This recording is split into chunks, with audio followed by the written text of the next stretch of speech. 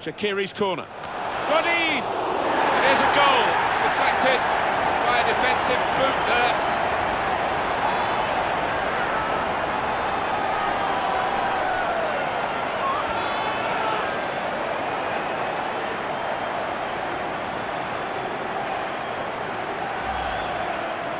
That earlier incident, the big deflection.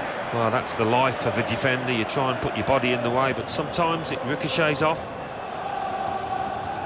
The goal, wherever you look at it, it was very well taken.